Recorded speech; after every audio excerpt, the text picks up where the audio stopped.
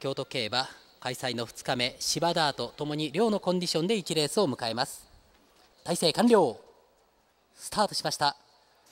さあ先行争い間セフィーロをしています。ブレイブリーも押して押して上がっていきます。最内からリノリオも上がっていきます。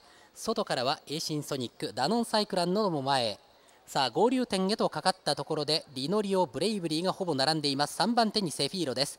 その後単独4番手12番ダノンサイクロンさらに外からエーシンソニックつけています。その後ですが内々モンスターバローズそしてスリーマキシマム直後11番のサンライズアルブルと固まっています。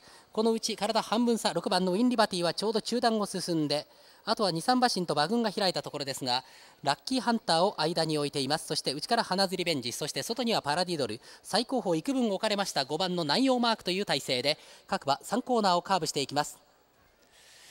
残り800を通過して34コーナー中間です。ペースを握っているリノリオそしてブレイブリー2番手3番手セフィーロ。その後は3頭1段です。34コーナー中間です。間モンスターバローズそして内々4番のスリーマキシマム。外からは12番のダノンサイクロンと好意固まっています。そしてその直後にゼッケン6番ウィンリバティがつけております。第4コーナーカーブ。残り400を今通過いたしました。直線コースへと向かってまいります。